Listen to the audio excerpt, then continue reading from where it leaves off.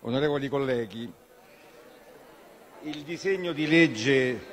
1372 di iniziativa governativa e approvato dalla Camera dei Deputati, collegato alla legge di bilancio 2019, conferisce delega al Governo e reca ulteriori disposizioni in materia di ordinamento sportivo. Deriva dallo stralcio disposto dal Presidente della Camera di alcune disposizioni del disegno di legge originariamente proposte dal Governo (Atto Camera 1603). Le altre disposizioni stralciate costituivano oggetto di un distinto disegno di legge recante disposizioni per il contrasto della violenza in occasione di manifestazioni sportive il cui esame presso la Commissione giustizia della Camera dei deputati si è concluso il 18 luglio 2019 e che ora sono confluite nel decreto-legge in materia di ordine e sicurezza pubblica approvato ieri dal Senato. Il disegno di legge è costituito da dieci articoli organizzati in quattro capi. Il capo primo, composto dagli articoli da 1 a 4, reca disposizioni in materia di ordinamento sportivo.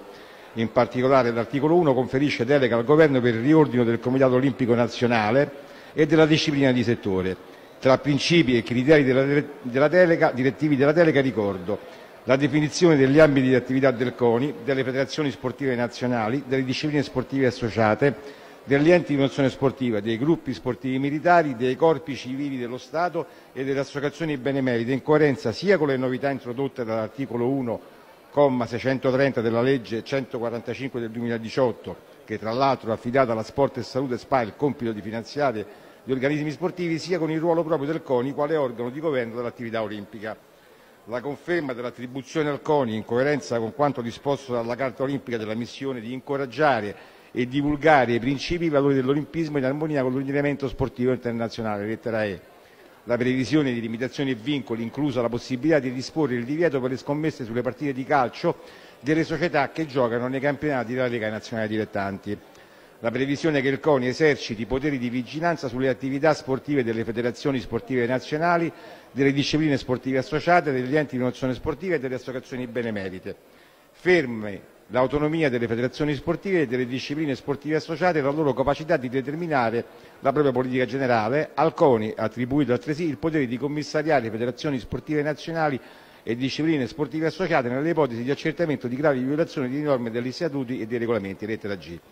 L'articolo 2 introduce misure relative ai centri sportivi scolastici con l'obiettivo di organizzare e sviluppare la pratica dell'attività sportiva nelle istituzioni scolastiche. Alle scuole di ogni ordine e grado è attribuita la facoltà di costituire un centro sportivo le cui attività, disciplinate con regolamento approvato dalla scuola medesima, sono oggetto di programmazione da parte del Consiglio d'istituto. L'articolo 3 reca disciplina relativa alla cessione, al trasferimento e all'attribuzione del titolo sportivo definito quale insieme delle condizioni che consentono la partecipazione di una società sportiva a una determinata competizione nazionale.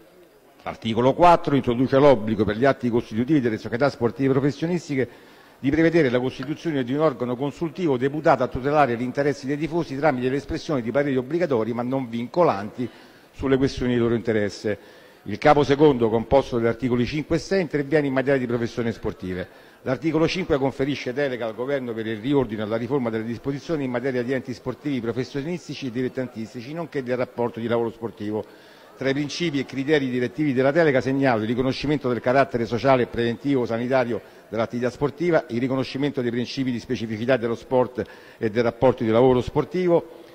l'individuazione della figura del lavoratore sportivo, ivi compresa la figura del direttore di gara. L'articolo 6 conferisce delega al Governo per il riordino delle disposizioni in materia di rapporti di rappresentanza di atleti e società sportive e di accesso e esercizio nella professione di agente sportivo. Il capo terzo, composto dagli articoli 7 e 9, reca disposizioni di semplificazione e sicurezza in materia di sport. L'articolo 7 conferisce delega al Governo per il riordino e la riforma delle norme di sicurezza per la costruzione e l'esercizio degli impianti sportivi, nonché della disciplina relativa alla costruzione di nuovi impianti sportivi, alla ristrutturazione e al ripristino di quelli già esistenti, inclusi quelli scolastici. L'articolo 8 conferisce delega al Governo per il riordino delle disposizioni legislative relative agli adempimenti e agli oneri amministrativi e di natura contabile a carico delle federazioni sportive nazionali, delle discipline sportive associate, degli enti di promozione sportiva, delle associazioni benemerite e delle loro affiliate riconosciute dal CONI. L'articolo 9 conferisce delega al Governo per l'adozione di uno o più decreti legislativi in materia di sicurezza nelle discipline sportive invernali al fine di garantire livelli di sicurezza più elevati. Il capo 4, quarto, costituito dal solo articolo 10, reca le disposizioni finali. Ora, mi sia consentito di aggiungere alcune annotazioni sperando di rimanere all'interno dei tempi che mi sono stati assegnati perché credo sia necessario, al di là della relazione tecnica, introdurre ulteriori elementi di riflessione rispetto alla lettura, oserei dire notarile, dell'articolato. Partiamo dalla razio che ha ispirato questa riforma, una razio che parte dalla finanziaria del 2018 che ha introdotto importanti novità nell'ordinamento sportivo italiano e che ha ridisegnato anche la figura del CONI, ha ridisegnato un ruolo che il CONI ha avuto assegnato da questa riforma, ma che di fatto ha sconvolto anche gli assetti e il panorama dell'ordinamento sportivo italiano, ma sconvolto non significa non averli migliorati, ma poi su questo ovviamente ci ritornerò. Noi siamo stati abituati per anni a vivere un ordinamento sportivo interpretato e gestito dal CONI eh, portando avanti solo logiche di carattere competitivo, ma questo evidentemente non ha prodotto la formazione all'interno del nostro Paese di una cultura sportiva che invece avrebbe favorito lo sviluppo dello sport a 360 gradi, soprattutto sotto le accezioni sanitarie, sotto le accezioni formative che invece il nuovo governo ha inteso inserire all'interno della riforma e successivamente all'interno di questo provvedimento di legge che ne va a dettagliare alcuni aspetti. In particolare la domanda che ci si è posti,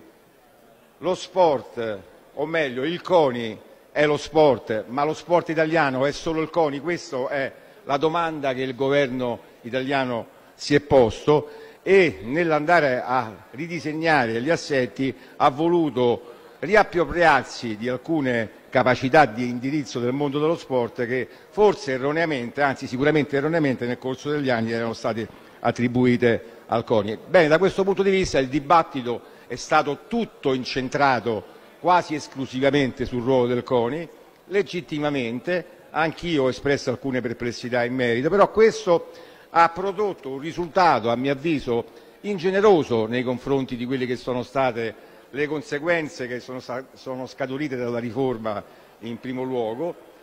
Mi riferisco al finanziamento dello sport italiano che è stato ancorato al 32% del gettito fiscale prodotto dallo sport e che già da quest'anno ha prodotto 60 milioni in più. Già questo mi sembra un risultato ragguardevole che ha migliorato il funzionamento della macchina sportiva italiana che fino ad oggi era stato invece fissato a un finanziamento fisso da parte dello Stato di 420 milioni. Badate bene, 420 milioni che comunque non possono assolutamente rappresentare la cifra al di sotto della quale si deve andare perché in ogni caso il 32% può essere vissuto soltanto in eccesso e non in difetto. E questo dibattito però ha ingenerosamente nascosto quelle che sono le altre peculiarità del provvedimento di legge che stiamo esaminando oggi, sul CONI poi tornerò successivamente, e che riguardano una serie di novità che sono state introdotte all'interno di questo provvedimento legislativo, che passano per alcune importanti innovazioni che impegnano anche i nostri istituti scolastici, grazie all'istituzione dei centri sportivi scolastici, ma soprattutto ha introdotto novità importanti per quello che riguarda gli aspetti giuslavoristici del, lavoro sportivo. Ma sarebbe disonesto intellettualmente se io non tornassi a parlare non solo del mio ruolo di relatore ma anche della lettera che oggi è stata recapitata dal CIO al CONI. Bene, io da questo punto di vista mi sento profondamente in linea con gli intendimenti del Governo perché anche all'interno di un mio ordine del giorno è stato accolto l'impegno da parte del Governo di armonizzare qualsiasi processo legislativo ai principi della Carta olimpica, in particolare l'articolo 27, e mi sia infine consentito di esprimere un'ulteriore riflessione sul ruolo di relatore che ho svolto, forse un ruolo di stimolo nei confronti della mia maggioranza, ma sempre all'interno di un contesto civile, di un contraddittorio e, di, eh,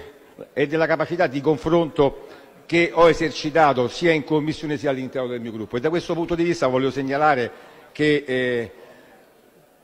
è doveroso da parte mia ringraziare sia il Governo che il Presidente Pittoni che il Presidente Romeo che non solo non si sono mai ingeriti all'interno di quelle che sono state le dinamiche che hanno caratterizzato questo percorso mi hanno rinnovato continuamente la fiducia rispetto al lavoro che stavo portando avanti. E questo contraddittorio, io lo, vado a concludere veramente soltanto due battute perché ci tengo anche perché credo sia doveroso anche eh, eh, rispettare il ruolo che ha esercitato l'opposizione in questo contesto, perché al di là di quelle che sono le liturgie classiche che ispirano i comportamenti sia in aula che in commissione, siamo andati ben oltre il dettato dispositivo, siamo andati ben oltre quelle che erano le vicende relative all'accoglimento o se vogliamo al respingimento di tutti gli emendamenti che sono stati presentati, ma all'accoglimento anche degli ordini del giorno. La capacità propositiva sia di maggioranza che opposizione è stata encomiabile e io sono sicuro che gli emendamenti e ovviamente gli ordini del giorno sono quelli approvati soprattutto, ma sono convinto che gli emendamenti non rimarranno lettera morta all'interno del lavoro di stesura delle deleghe e su questo auspicio io voglio concludere il mio intervento ringraziando veramente tutti per il contributo che è stato dato. Grazie. Grazie.